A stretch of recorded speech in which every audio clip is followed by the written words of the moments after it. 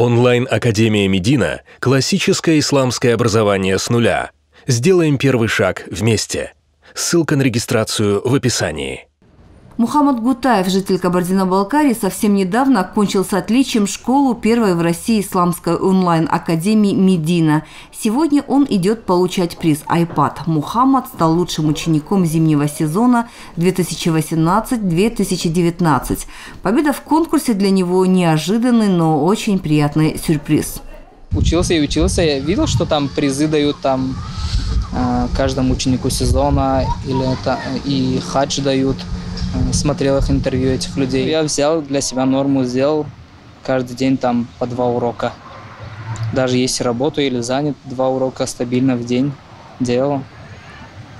То, что было э, трудно, конспектировал. То, что я понимал, что не запомню, если не законспектирую.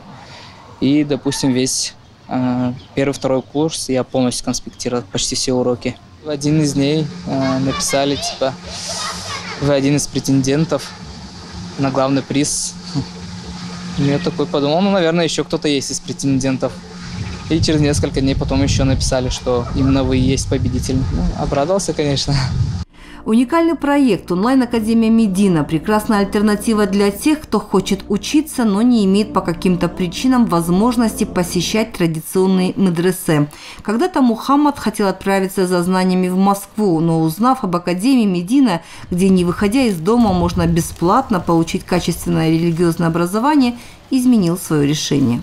Там как основные знания, все, вся база, которую человек должен, обязан получить э, спокойно может э, зарегистрироваться и бесплатно обучаться. Никаких трудностей, все легко, все доступно в нашем, в нашем 21 веке. Каждый день ты можешь с чем-то таким встретиться, где ты можешь применить эти знания. Это не так выучил и все, забылось. Нет, каждый день может пригодиться. Э, тот же адап, как себя вести в тех или иных случаях, э, в тех или иных обществах с Господом, с родителями, Э, с женой и так далее. И это очень нужно именно в наше время. Я призываю всех, э, чтобы получали знания. А вот именно вот в Медине, Медине э, там дают вот самые основные знания, которые базовые, фундамент. Без фундамента, как мы знаем, дом не строится. И вот этот фундамент должен знать каждый.